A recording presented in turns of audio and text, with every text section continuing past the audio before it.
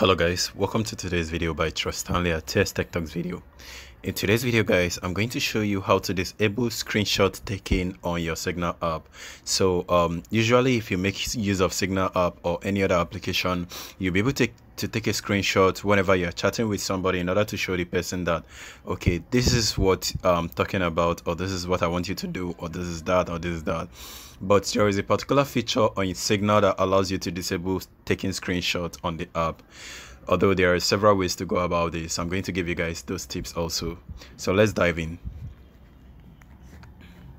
Now once you open your signal and then you're having conversation with somebody you can easily take a screenshot right now. Did you notice i just took a screenshot?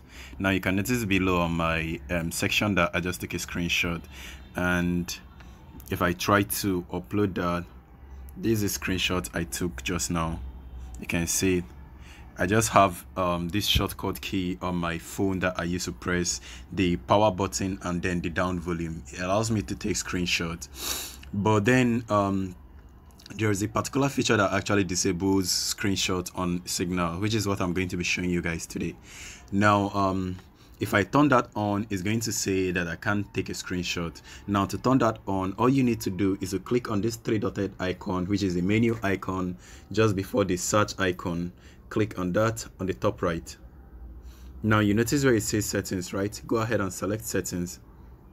Okay um you notice where it says privacy right? Click on privacy. Now this is actually the third option that you see. It says screen security right?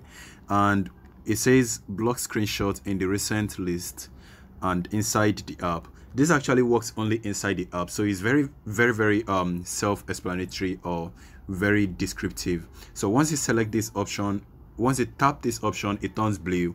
And once it turns blue that means this option has been enabled.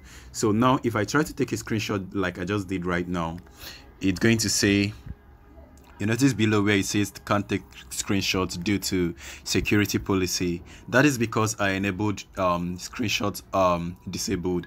So you're also going to get this option and the other person that is also chatting you is also going to get this option. Whichever conversation you are doing or whichever conversation you are having is always going to be showing you cannot take screenshots on your device.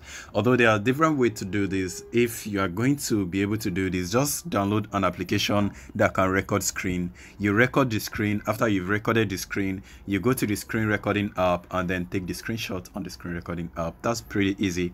So that is all for today's video. This is how to disable screenshot and i also gave you guys a tip on how to take a screenshot if somebody disabled that.